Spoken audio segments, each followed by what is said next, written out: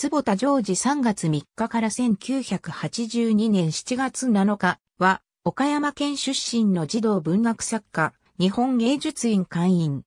同じ児童文学作家、児童文学研究者である、坪田力夫は三男。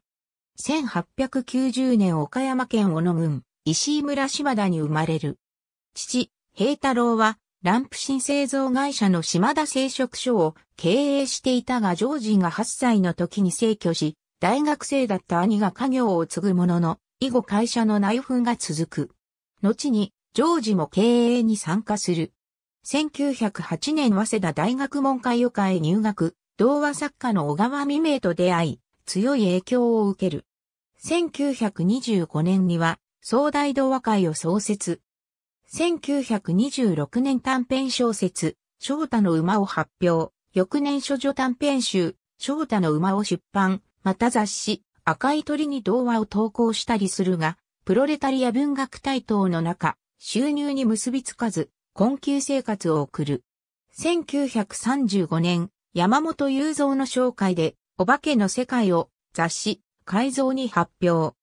翌1936年9月5日から11月6日、東京朝日新聞夕刊の新聞小説として連載12月刊行した風の中の子供が幅広い年代層の支持を得て一躍人気作家となる。戦後は日本児童文学者協会の第三代会長などを務めた。後年は自らも総大童話会に続いて童話雑誌美和の実学校を主催。松谷美代子、阿満紀美子、寺村照夫、大石誠、今西助幸などの後進を育てた。1955年日本芸術院賞受賞。1964年日本芸術院会員。1973年朝日文化賞受賞。79年岡山市名誉市民。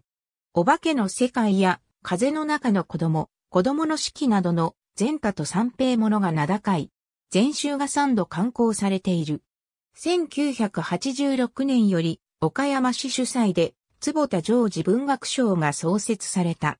小川未明、浜田博介と共に児童文学界の三種の神器と評されていた。ありがとうございます。